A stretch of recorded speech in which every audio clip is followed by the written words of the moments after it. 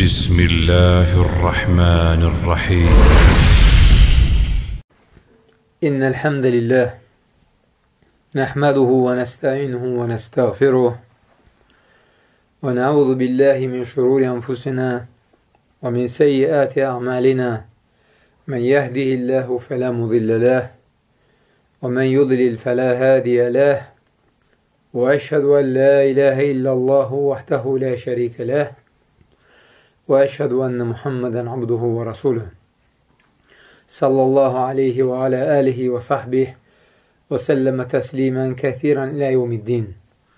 فإن خير الكلام كلام الله وخير الهدي هدي محمد صلى الله عليه وسلم وشر الأمور محدثاتها وكل محدثة بدعة وكل بدعة ضلالة وكل ضلالة في النار. Əmmə ba'd Əziz qardaşlarım Həmişə olduğu kimi hamınıza eləcə də özümə Allahdan qorxmağı və Peyğəmbərimiz sallallahu aleyhi və səlləmin yolunu tutub getməyi nəsiyyət edirəm. Bugünkü mövzumuz çox mühüm mövzudur.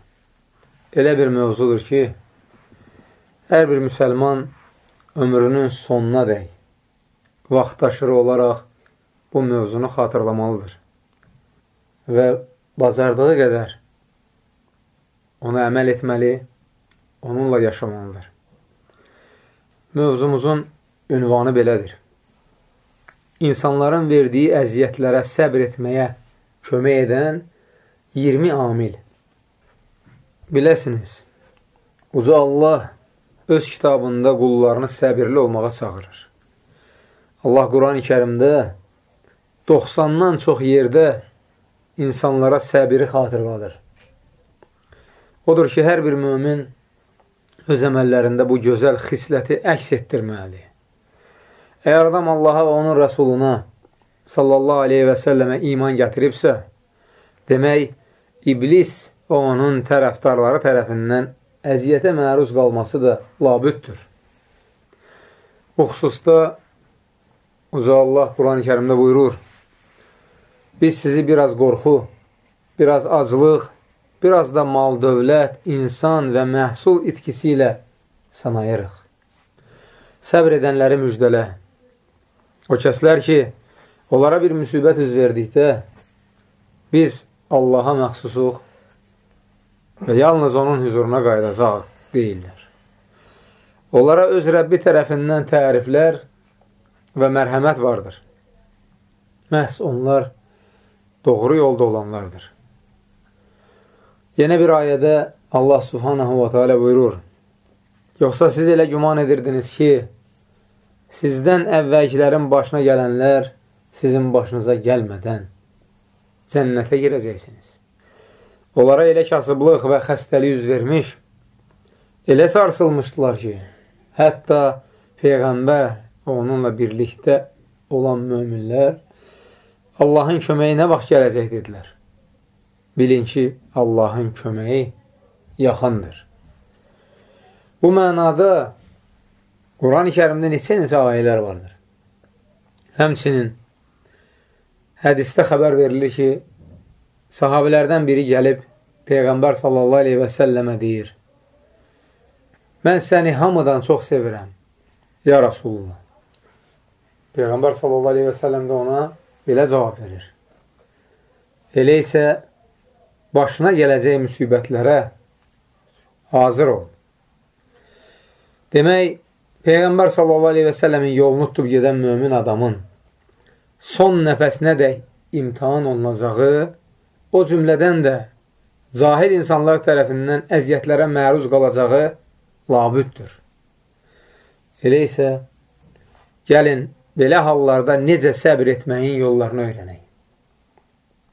Şeyxülislam İbn Teymiyyə rahiməhullah öz kitabında insanların verdiyi əziyyətlərə səbr etməyin 20 yolunu zikr etmişdir. Allahdan istəyimiz budur ki, bizi səbr edən və şükr edən qullarından etsin. Bizə öyrətdiyi elmi bizim üçün faydalı etsin. Onun sayəsində bizi yaxşı işlər görməyə müvəffəq etsin. bizim elmimizi artırsın. Öyrəndiklərimizi bizim əleyhimizə deyil, lehimizə etsin. Allah təbarəkə və tealə duaları eşidən, onları qəbul edən və bəndələrinə yaxın olandır. Şeyxülislam İbn Teymiyyə rahiməhullah demişdir. İnsana gördüyü əziyyətlərə səbr etməyə kömək edən amillər bunlardır. Birincisi, adam düşünməlidir ki, insanların gördükləri işləri, onların bəzən hərəkətdə olmalarını, bəzən də hərəkətsiz durmalarını, ha belə onların istəklərini yaradan Allahdır. Allah istədiyi olmuş, istəmədiyi isə olmamışdır. Göylərdə və yerdə nə varsa, hamısı məhz onun izni və istəyi ilə hərəkət edir.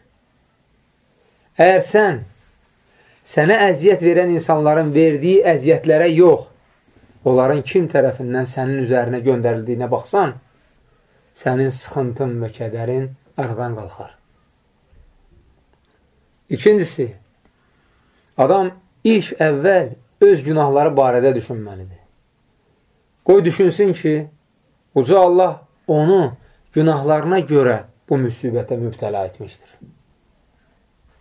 Uca Allah buyurur, başınıza gələn hər bir müsibət öz əllərinizlə qazandığınız günahlar üzündəndir. Allah günahların çoxunu bağışlayır. Və əgər adam düşünsə ki, başına gələn müsibətlər onun etdiyi günahlara görədir, onda öz vaxtını Allaha tövbə etməyə və ondan bağışlanma diləməyə sərf edər. Beləliklə də ona əziyyət verən insanları məzəmmət etmək, onları qınamaq və onların dalınca danışmaq heç yadına düşməz. Əgər sən bir adamın ona əziyyət verən insanların dalınca danışdığını, üstəlik öz nəfsini qınamadığını və Allahdan bağışlanma diləmədiyini görsən, bil ki, onun başına gəlmiş müsibət əsl müsibətdir. Yox, əgər Allaha tövbə etsə, Allahdan bağışlanma diləsə və bu mənim günahlarıma görədir desə, bil ki, bu müsibət onun üçün bir neymətdir. Bu xüsusda Əli ibn Əbi Talib radiyallahu anh qızıla bərabər bir söz söyləmişdir. O demişdir, adam yalnız Rəbbinin mərhəmətinə ümid bəsləməli və yalnız öz günahlarından həzər etməlidir. O həmçinin demişdir, bəla ancaq günahlara görə gələr və yalnız tövbə ilə aradan qalxar. Üçüncüsü, adam ona əziyyət verən kimsənin əziyyətinə səbr edəcəyi və onu bağışlayacağı təqdirdə Allahın ona gözəl mükafat verəcəyini düşünməlidir. Bu xüsusda Uca Allah buyurur, Pisliyin cəzası özü kimi pislikdir. Amma kim bağışlasa və barışsa, onun mükafatı Allaha aid olar. Həqiqətən, Allah zalimları sevmir. Ayədən bizə aydın olur ki, insanlar onlara verilən əziyyət qarşısında atacaqları addım xüsusunda üç qismə bölünürlər. Birincisi, zalim adamlardır. O kimsə ki, öz haqqından artıq əvəz çıxmaqla ona pislik edən kimsəyə zülm edir. İkincisi, orta yol tutan kimsədir ki, öz haqqını tələb edir. Üçüncüsü isə o kəsdir ki, öz haqqından vaz keçməklə ona əziyyət vermiş kimsəni əff edir. Qiyamət günü carçız səsləyib deyəcək. Qoy Allahın özlərinə mükafat veriləcəyini vacib buyurduğu kimsələr ayağa qalxsınlar. O zaman vaxtı ilə insanları əff etmiş və aranı düzəltmiş kimsələr ayağa qalxacaqlar. Və əgər adam intiqam almaq və əvəz çıxmaqla savabdan məhrum olacağını düşünərsə, o halda səbr etmək və bağışlamaq ona asan gələr. Dördüncüsü, Adam düşünməlidir ki, əgər o bağışlayarsa və yaxşılıq edərsə, bu onun qəlbinin mömin qardaşlarına qarşı salamat qalmasını təmin edər. Və onun qəlbini hər bir hilədən, kin-kidurətdən, intiqam almaqdan və şərə salmaqdan təmizləyər. Beləliklə o, əff etməyin ləzzətini dadar. Üstəlik, həm bu dünyada, həm də axirətdə intiqam almaqdan qazanacağı mənfəətdən qat-qat artıq mənfəət qazanar. Çünki uca Allah buyurur, Allah yaxşı iş görənləri sevir. Belə olduğu təqdirdə o adam Allahın sevimlisinə çevrilir və onun halı bir neçə dirhəmi əlindən alınmış, sonra isə əvəzində ona minlərlə dinar verilmiş kimsənin halına bənzəyir. Həmin vaxt Allahın ona bəxş etdiyi neymətə görə onun sevincinin həddi hüdudu olmaz. Beşincisi, adam bilməlidir ki, kim öz nəfsinə görə intiqam alarsa, bu ona ancaq zəlillik gətirir və o özünün necə zəlil olduğunu görər. Yox, əgər bağışlayarsa, onda Allah Taala onun izzətini artırar. Doğru danışan və doğruluğu təsdiq edilmiş Peyğəmbərimiz sallallahu aleyhi və səlləm bu xüsusda belə buyurmuşdur. Adam əff etdikcə Allah onun ancaq izzətini artırar. Əlbəttə ki, adamın əff etdikcə qazandığı izzət onun üçün intiqam alacağı təqdirdə əldə etdiyi izzətdən daha sevimli və daha faydalıdır. Belə ki, intiqam alan adam zahirdə izzət qazandığını düşünsə də, daxildə bu onun üçün bir zəlillikdir. Əff etmək isə daxildə bir zəlillik kimi görünsə də, əslində bu həm daxildə, həm də zahirdə əsl izzətdir. Altıncısı, adam düşünməlidir ki, bu onun öz əməlinin cəzasıdır. Haqsızlıq edən də, günah işlədən də özüdür. Və əgər insanları əff edər və bağışlayarsa, Allah da onu əff edər və onun günahlarını bağışlayar.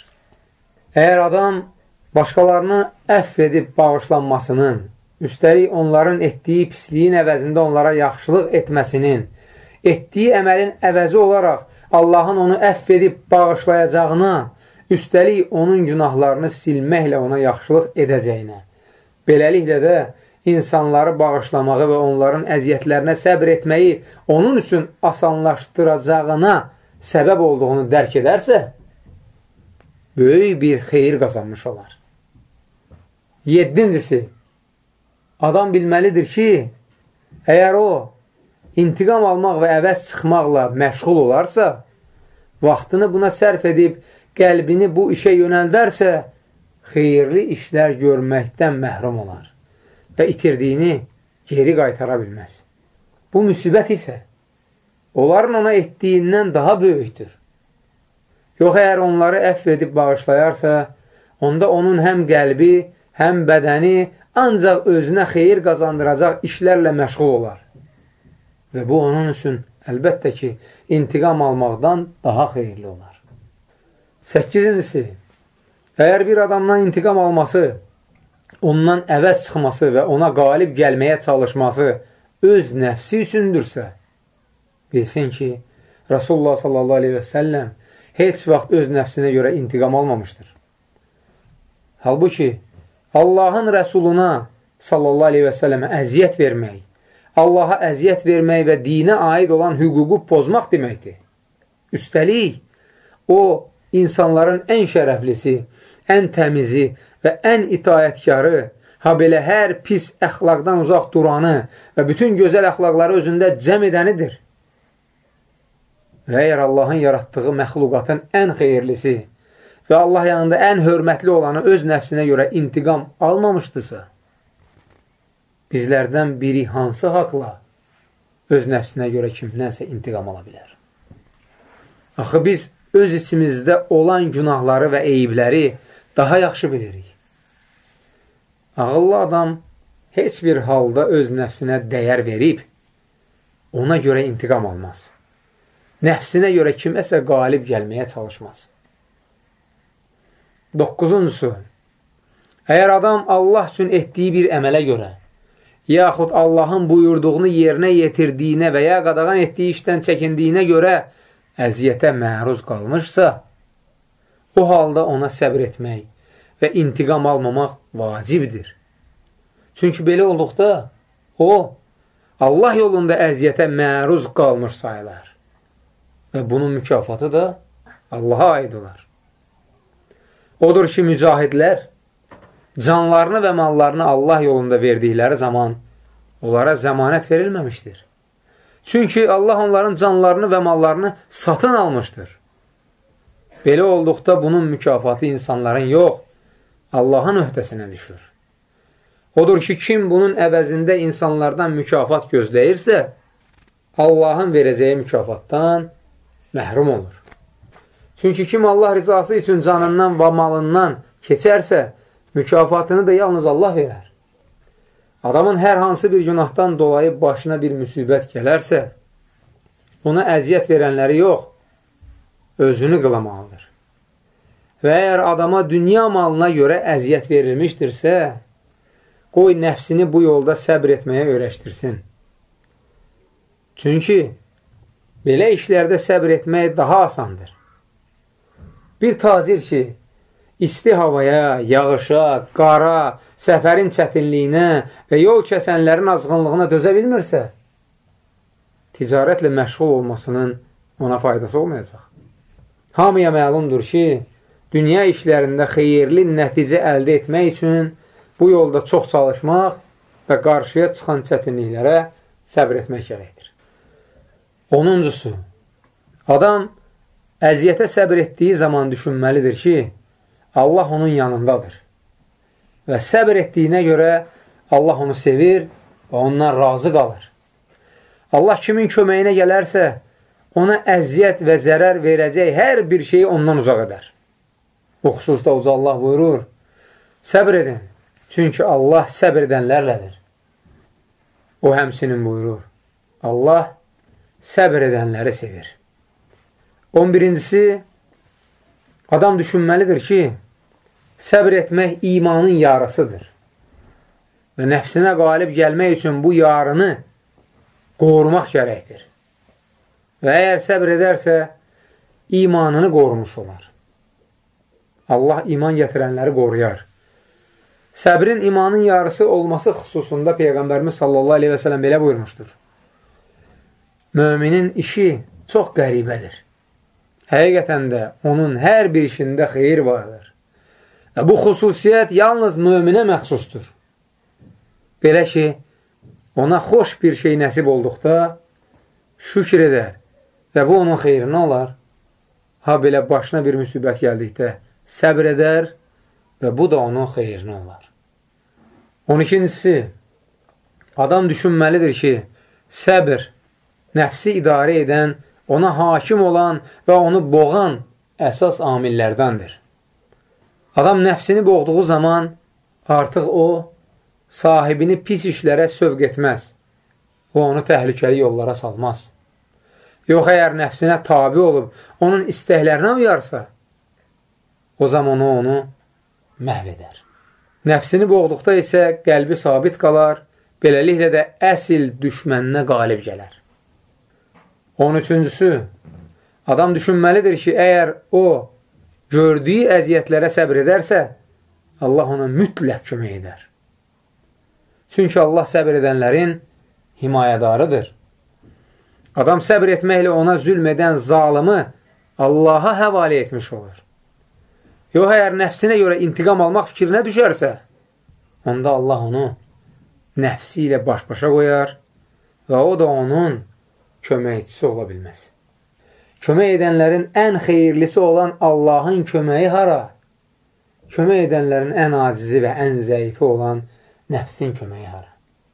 14-cüsü, əgər adam ona əziyyət verən kimsənin əziyyətlərinə səbr edərsə, həmin adam zülm etməkdən əl çəkər. Elədiyinə peşman olar. Səhəfinə görə üzrxaqlıq diləyər. Üstəlik, insanlar buna görə onu qınayar və o tutduğu əməldən utanar. Hətta ola bilər ki, vaxtı ilə əziyyət verdiyi adamla dost olar. Bu xüsusda Uca Allah belə buyurur. Yaxşılıqla pislik eyni ola bilməz. Sən pisliyi yaxşılıqla dəf et. O zaman səninlə ədavət aparan kimsə sanki yaxın bir dost olar. Bu isə ancaq səbr edənlərə verilir və ancaq böyük qismət sahiblərinə nəsib olur. 15-cisi, ola bilsin ki, adamın ona əziyyət verən kimsədən intiqam alması həmin zalımın daha da azğınlaşmasına, ona daha çox şər işlər görməsinə və bu zalımın ona başqa yollarla əziyyət vermək fikrinə düşməsinə səbəb olsun. Əgər adam səbir etsə və bağışlasa, daha böyük zərərlərdən özünü qorumuş olar. Ağıllı adam heç vaxt kiçik zərəri dəf etməklə böyük zərərə düşməyə üstünlük verməz. O qədər hadisələr olub ki, adam intiqam alıb, əvəz sıxmağa çalışıb, sonra da qarşı tərəfin daha böyük azğınlığının qarşısını ala bilməyib. Neçə-neçə hadisələr olub ki, belə səhvlər özündən kütləvi qırğınlar baş verib. Hörmətli şəxslər nüfuzdan düşüb və uzun illər yığılmış mal-dövlət əldən çıxıb. 16-cısı Əgər adam səbr etməyib intiqam almağa cəhd edərsə, mütləq haqsızlıq edər. Çünki nəfs nə qədər istəsə də, ədalətli şəkildə intiqam almağa qadir deyil. Hətta bəzən haqqı ödəməyə belə aciz qalar. Ola bilsin ki, qəzəb adamı elə bir həddə gətirib çıxartsın ki, nə danışdığını və nə hərəkət etdiyini dərk etməsin. Ola bilər ki, adam zülmə məruz qaldıqdan sonra nəfsinə görə intiqam almaqla kömək və izzət gözlədiyi zaman özü zalıma çevrilsin. Beləliklə də qəzəbə düşər olsun və başına bəla gəlsin. Ayşə radiyallahu anh rəvayət edir ki, bir nəfər gəlib Peyğəmbər sallallahu aleyhi və səlləmin qarşısında oturdu və dedi, Ya Rasulullah, mənim kölələrim var. Onlar mənə yalan danışır, mənə xəyanət edir və mənə asi olurlar. Mən də onları həm söyürəm, həm də döyürəm. Allahın hüzurunda onlara görə mənim halım necə olacaq? Peyğəmbər sallallahu aleyhi və səlləm buyurdu. Onların sənə etdikləri xəyanət, asilik və danışdıqları yalan, ha belə sənin onlara verdiyin cəza haqq hesab ediləcək. Əgər sənin onlara verdiyin cəza onların günahları qədər olarsa, bərabərlik olar. Bu nə sənin lehinə, nə də əleyhinə olar. Nə savab qazanarsan, nə də cəzalandırılarsan. Və əgər onlara verdiyin cəza onların günahlarından az olarsa, onda bu sənin üçün bir üstünlük olar. Yox əgər onlara verdiyin cəza onların günahlarından çox olarsa, bu çoxluq qədər səndən qisaslarını alırlar. Bunu eşidəndə həmin sahabə kənara çəkilib, hönkür-hönkür ağlamağa başlayır. Peyğəmbər sallallahu aleyhi ve sellem ona deyir, Məyər sən Allahın kitabındakı bu ayəni oxumursanmı? Biz qiyamət günü ədalət tərəziləri ilə haqq hesaba çəkəcəyik. Heç kimə hər hansı bir şeydə ədalətsizlik edilməyəcəkdir.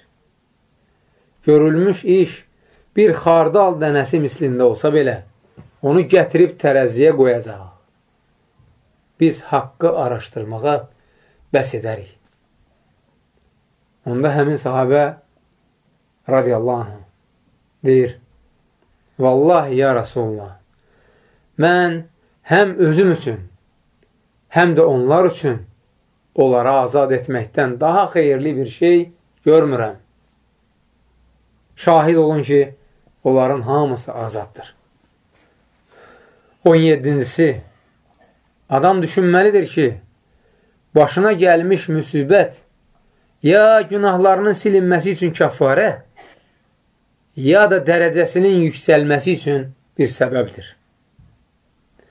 Və əgər səbr etməyib intiqam alarsa, bu müsibət nə günahlarının silinməsi üçün kəffarə, nə də dərəcəsinin yüksəlməsi üçün bir səbəb olar.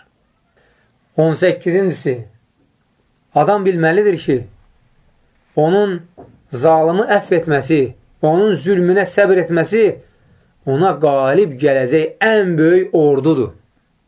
Belə ki, kim səbr edib əff edərsə, bu onun düşməninin zəlil olmasına, ondan çəkinməsinə və insanların qınağından qorxmasına səbəb olar. Çünki beləsini insanlar həmişə qınayarlar. Əks halda isə bütün bu üstünlüklərdən məhrum olar. 19-cusu, adam ona əziyyət verən kimsəni bağışladıqda, həmin adam özlüyündə onu əff edən adamın ondan üstün olduğunu və uğur qazandığını, özünün isə yanlış addım attığını başa düşər. Bu da bağışlayan adam üçün bir fəzilət və şərəfdir. Və nəhayət 20-cisi, əgər adam ona zülm etmiş kimsəni bağışlasa, bu əməli ona savab qazandırar. O savab daha bir savab qazandırar. O biri də həmçinin ona bir savab qazandırar və beləcə getdikcə onun savablarının sayı artar. Belə ki, bir günah başqa bir günaha gətirib çıxartdığı kimi, yaxşı əməlin savabı da başqa bir savab qazanmağa gətirib çıxarır. Və ola bilsin ki, qazandığı bu savab onun nicat tapmasına və əbədi saadətə qovuşmasına səbəb olsun. Yox, əgər intiqam alar və əvəz çıxarsa, bu xeyirdən məhrum olar. İbn Teymiyyə rahiməhullahın sözü burada tamamlanır. Allahdan istəyimiz budur ki, bizim başımıza gələn müsibətlərdə bizə səbr edib insanları əff etməyi müvəffəq eləsin, o gözəl xislətə nail olan müttəqilərdən etsin. Subhanək Allahumma və bihəmdik, əşhədu ən la iləhə illə ənd, əstəğfiruka və atubu iləyik.